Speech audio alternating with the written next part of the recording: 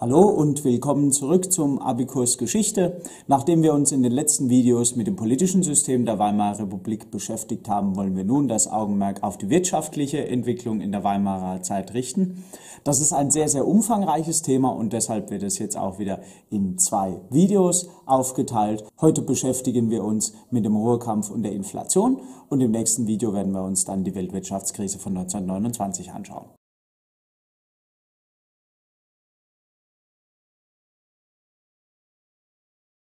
Wie ich in den vorherigen Videos bereits versucht habe darzulegen, wird eine Regierung von der Bevölkerung im Normalfall daran gemessen, wie gut die Lebenssituation ist. Wie schafft es die Regierung, dafür zu sorgen, dass es der Bevölkerung gut geht, dass sie Arbeit hat, dass sie genug zu essen hat, alle Güter hat, die sie brauchen und eine Zukunft vor allem für die Bevölkerung und für die Kinder bereitstellen können. Immer dann, wenn die Menschen der Ansicht sind, dass diese äh, Zukunft, diese ähm, Aspekte in Gefahr sind, kann sich eine Stimmung aufbauen, in der dann es kurz oder lang zu einer Revolution, zu einem Militärputsch, zu einem Umsturz oder zu was auch immer führen kann.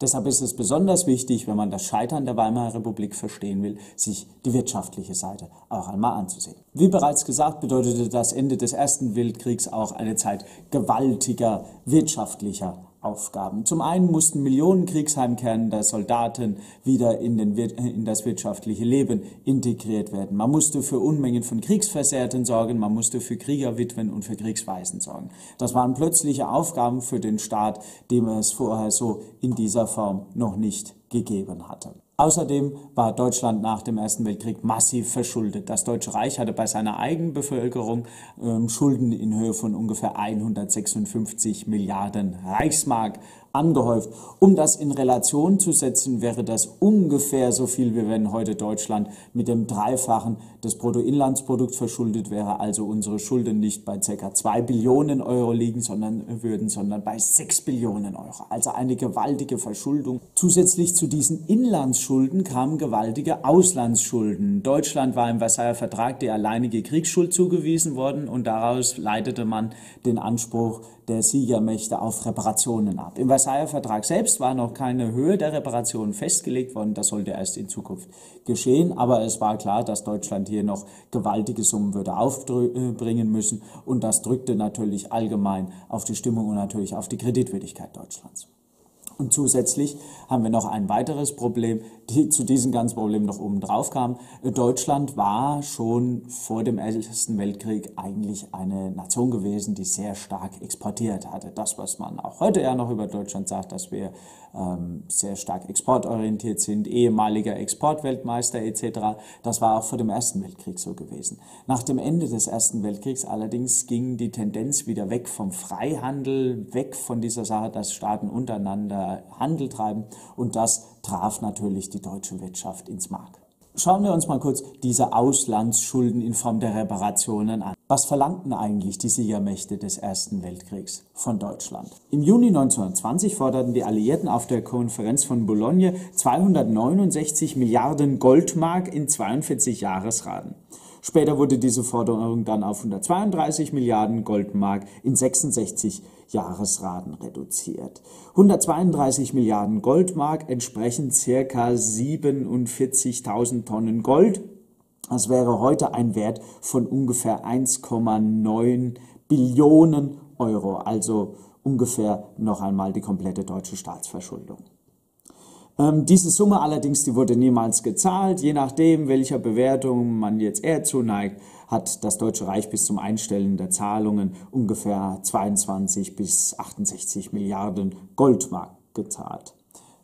Trotz alledem war natürlich diese gewaltige Summe, diese gewaltigen Schulden, die da festgeschrieben wurden, einerseits geeignet dazu, in Deutschland gewaltige Ressentiments zu wecken, diese Aussicht, dass man 66 äh, Jahre würde zahlen müssen für den Krieg, dass sogar noch die Kinder und die Enkel für diesen Krieg würden zahlen müssen, waren dazu geeignet, die Leute mit dem Versailler Vertrag und natürlich mit der Regierung, die diesen Versailler Vertrag umsetzen musste, noch viel stärker zu entfremden, als es ohnehin schon der Fall gewesen wäre. Die deutsche Regierung versuchte nun, diese Probleme, diese wirtschaftlichen Probleme anzugehen und zu lösen. Und um einfach Geld zur Verfügung zu haben, um damit die Wirtschaft wieder anzukurbeln, äh, kurbeln, um Renten auszuzahlen um dieses ganze System wieder zum Laufen zu bringen, entschieden sie sich einfach, nun ja, Geld zu drucken. Es wurde die Goldbindung für die Reichsmark aufgehoben und man begann damit fleißig Scheine zu drucken. Das ist ja das Praktische im Vergleich zu Goldmünzen. Man kann einen Schein einfach aus Papier machen. Bei Goldmünzen bräuchte man ja zusätzliches Gold. Oder man reduziert den Goldanteil. Das war der Trick der Jahrhunderte vorher gewesen. Aber mit Scheinen geht das natürlich wesentlich, wesentlich leichter. In dem Resultat sank der Wert der Reichsmark immer weiter, wie wir hier in dieser Statistik sehen können beträgt der Wert der Reichsmark 1920 zum Beispiel ähm, nur noch ein Zehntel von dem der äh, Wert vor dem Ersten Weltkrieg, wie man an diesem Dollarkurs sehen kann. Im Juli 1914 musste man für einen Dollar noch 4 Mark und 20 Pfennig bezahlen. Im Juli 1920 musste man für denselben Dollar schon 39 Mark und 50 Pfennig hergeben. Das heißt, hier ging schon eine gewaltige Geldentwertung äh, voran, die dann im Jahr 1921 schon auf ca. 70 bis 76 Mark pro Dollar hochging. Bis ins Jahr 1922 rein schaffte es Deutschland mehr schlecht als recht, aber sie schafften es zumindest die Reparationsforderung zu erfüllen. Die Reparationsforderungen waren ja nicht in Mark, sondern in Goldmark festgeschrieben gewesen, das heißt in einer gewissen Menge Gold und dieses Gold musste im Außenhandel verdient werden. Da dies aber immer schwerer wurde, und auch die Goldreserven aufgebraucht waren, ähm, ging man dazu über, Sachleistungen von Deutschland zu formen, in Form von Waren. Und ab dem Jahr 1920, 21, 22 äh, kam es immer mehr zum Streit darum, ob Deutschland seine Reparationsforderung erfüllt und überhaupt, ob sie sie erfüllen wollen oder zurückhalten, um die Siegermächte zu provozieren, um ihnen ihr, das ihnen Zustehende vorzuenthalten. Vor allem Frankreich und Belgien waren hier der Ansicht, dass Deutschland viel mehr leisten könnte. Als Faustpfand für die Erfüllung der deutschen Forderungen begannen die Franzosen und Belgier damit, das Ruhrgebiet zu besetzen. Die deutsche Reichsregierung wiederum sagte, diese Ruhrbesetzung sei absolut ungesetzlich, nicht gedeckt von dem Versailler Vertrag und sie forderten die Bevölkerung zum passiven Widerstand auf. Dies bedeutet, dass die Zechen streiken sollten, die ganzen Ämter sollten geschlossen bleiben, es sollte schlicht und einfach nirgendwo irgendwelches Geld oder Waren sein, das die Franzosen sich abholen könnten, um die Reparationsforderungen zu bedienen. Passiver Widerstand. Die Bevölkerung selbst sollte von der Reichsregierung bezahlt werden. Also sollten sozusagen hier diese Gelder ins Rheinland geschafft werden. Wie soll das aber funktionieren, wenn eine der größten Industrieregionen Deutschlands plötzlich aufhört zu produzieren und der Bundeshaushalt das übernehmen sollte. Wenn wir das auf unsere heutige Situation mal übertragen würden, das Bruttoinlandsprodukt, also der Wert aller Waren und Dienstleistungen, die in Nordrhein-Westfalen im Jahre 2015 durchgeführt waren, lag bei ungefähr 650 Milliarden Euro. Der Bundeshaushalt im Jahr 2015, also alles, was der Bund ausgegeben hat, liegt bei um die 300 Milliarden Euro. Das heißt, zusätzlich zu dem Geld, was der Bund so oder so ausgibt, müssten sie nochmal mehr als doppelt so viel in die Hand nehmen, um das ganze Ruhrgebiet praktisch bezahlen zu können, dass die Leute dort eben Widerstand leisten und nicht für die Franzosen arbeiten. Innerhalb eines Jahres würde die deutsche Staatsverschuldung um ein Drittel zunehmen. Ähm, das sind so gewaltige Summen, dass wir uns auch heute vorstellen könnten, dass das kaum wirklich tragbar wäre, eine plötzliche Verdreifachung der Staatsausgaben und äh, damals mit der wesentlich schwächeren wirtschaftlichen Situation war das natürlich erst recht nicht denkbar. Logischerweise würden eine solche gewaltige Belastung jedes äh, Land, ob kurz oder lang, in den finanziellen Ruin führen. Und genauso musste Deutschland schon im September 1923 diesen Ruhrkampf wieder abbrechen. Und man kann sagen, der Ruhrkampf war ein absolutes Desaster. Zwar hatte man den Siegermächten einen gewissen Respekt abgetrotzt, immerhin hatte Deutschland eine ganze lange Zeit lang hier passiven Widerstand gehalten und auch Teile der Bevölkerung waren der Ansicht, dass das genau die richtige Maßnahme gewesen wäre, dass man sich nicht alles gefallen lassen sollte. Aber der Folge war eine derart massive Inflation gewesen, eine derart massive Geldentwertung, dass man hier von einem Pyrrhussieg sprechen muss. Schauen wir uns mal genauer das an, wie das überhaupt funktioniert mit der Inflation. Um die Hyperinflation Inflation des Jahres 1923 wirklich verstehen zu können, müssen wir uns kurz zurücklehnen, um zu verstehen, wie Inflation überhaupt funktioniert. Das ist nicht ganz so leicht, wie es heute manchmal in der Presse dargestellt wird. Nur die Notenpresse anzuwerfen oder dass die Zentralbank Geld auf den Markt wirft, reicht eben nicht für eine gewaltige Inflation, wie wir es derzeit sehen. Die EZB pumpt derzeit massiv Geld in die Märkte hinein und trotzdem gibt es keine gewaltige Inflation. Wie funktioniert das also?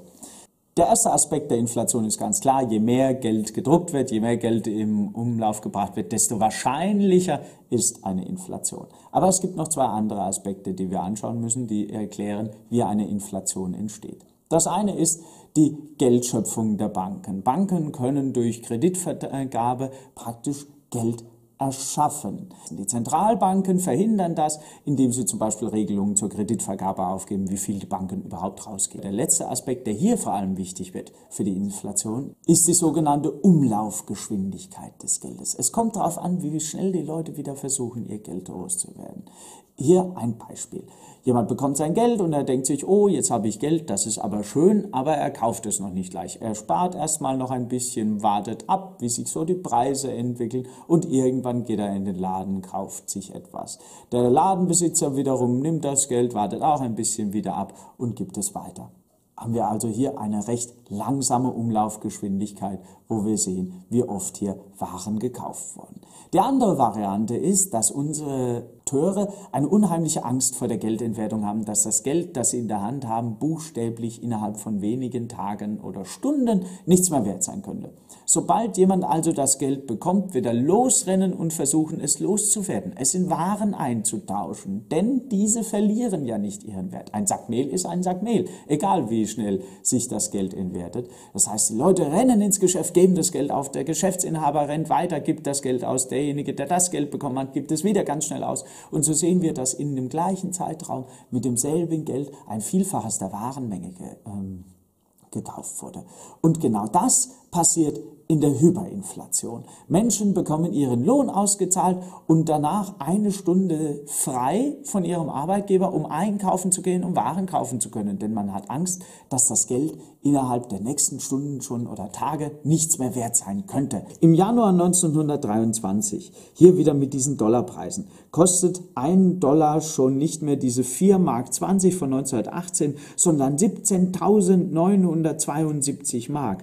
Im Juli, also nicht einmal ein halbes Jahr später, sind es schon 353.412 Mark. Im August, ein Monat später, 4,62 Millionen Mark. Im September, noch einmal äh, einen Monat später, 98 Millionen Mark. Im Oktober 25 Milliarden Mark. Und im November 4,2 Billionen Mark für einen Dollar diese gewaltige Geldentwertung und Hyperinflation, die einfach nicht mehr aufhören will. Warum? Weil die Leute natürlich den Versprechungen nicht mehr glauben. Sie glauben nicht, dass das Geld in Kürze mal wieder was wert ist. Und deshalb kommt es zu einem Cut. Es wird die sogenannte Rentenmark eingeführt. Wie funktioniert so eine Umwandlung des Geldes? Nun gut, es wird eine gewisse Geldmenge rausgebracht. Man holt die deutsche Industrie rein, die die Sachwerte einbringt, also Fabriken, Grundstücke etc. Und man verspricht mehr oder weniger, dass man nicht mehr Rentenmark ausgeben wird, als hier an diesen Sachwerten zugrunde vorhanden ist. Im Grunde genommen ist das eigentlich ein leeres Versprechen. Wenn die Regierung entscheiden würde, mehr Geld zu drucken, dann könnte genauso gut bei der Rentenmark Geld gedruckt werden. Wer hält denn die Regierung auf? Aber die Menschen vertrauen diesem Versprechen, sie vertrauen der Industrie, sie vertrauen darauf, dass die Mark jetzt nicht einfach so wieder weitergedruckt wird, sondern dass ein fester Wert zugrunde liegt und deshalb die Geldmenge nicht unbegrenzt und unkontrolliert wächst. Und in dem Moment, wo ich darauf vertraue, dass dieser Geldschein auch noch morgen oder übermorgen oder in ein paar Monaten den Wert verbrieft, der hier draufsteht, in diesem Moment bin ich bereit, zum Beispiel zu sparen, Geld auf die Seite zu legen. Und das sorgt dafür, dass die Umlaufgeschwindigkeit des Geldes sinkt. Die Leute rennen nicht sofort wieder los, versuchen es loszuwerden. Und wir sind wieder am Anfangspunkt in einer stabilen Geldzirkulation. Was sind die Folgen dieser großen Inflation? Zuerst einmal kann man sagen, da gibt es sehr positive Folgen, nämlich, wir erinnern uns, das Deutsche Reich war mit 156 Milliarden Reichsmark verschuldet. Das heißt, man konnte die ganzen Staatsschulden der Weimarer Republik mit einem einzigen Geldschein zurückzahlen. Das war also in der Form für den Staat, ähm, der war schuldenfrei bei den Privatleuten im Inland. Die Auslandsschulden waren natürlich immer noch da. Warum? Die waren nicht in Reichsmark angegeben, sondern in Gold. Aber die ganzen Anleihen, die ganzen Kriegsanleihen, die die Menschen gezeichnet hatten, um den Ersten Weltkrieg zu finanzieren, die sind wertlos. Außerdem haben sämtliche Kleinsparer, der gesamte Mittelstand, kann man sagen, haben ihre ganzen, ihr ganzes Vermögen verloren. All diese Menschen, die Geld als Sparbriefe, als Sparbücher auf der Bank haben, sie sind pleite gegangen. Die Reichen haben damit im Normalfall kein Problem, weil reiche Leute ihren Vermögen normalerweise nicht als Geld handeln. Sie halten es als Kapital. Das heißt, sie haben Aktien gekauft, ihnen gehören Anteile an Unternehmen, ihnen gehören Grundstücke, ihnen gehören Mietshäuser. Und diese Sachwerte behalten ja ihr Geld. Eine Inflation ist, wenn man so will, eine Sondersteuer für Geldvermögen. Inflation vernichtet Geldvermögen und Geldschulden. Und in dieser Form ist es eine Steuer, die wirklich jeden trifft, aber vor allem die Leute, die Geldvermögen halten. Und das sind eben in der großen Mehrzahl die kleinen und mittleren Sparer. Und das wird dafür sorgen, dass sich große Teile der Bevölkerung, nämlich der Großteil, ähm, nicht mehr wirklich mit der Weimarer Republik identifiziert, nicht mehr wirklich Vertrauen hat, denn diese Bevölkerungsteile sind enteignet worden. Soweit heute zum Thema Ruhrkampf und Hyperinflation. Ähm, die Weimarer Republik stabilisiert sich tatsächlich. Nach diesen gewaltigen Umwechslungen kommt eine Zeit relativen wirtschaftlichen Ausstiegs und Prosperität, die allerdings leider nicht sehr lange anhalten wird. Schon im Jahr 1929 ziehen neue große Wolken auf am Horizont, nämlich mit der Weltwirtschaftskrise und dem Schwarzen Freitag in den USA. Diesen Aspekt werden wir im nächsten Video beleuchten. Bis dahin, gute Zeit.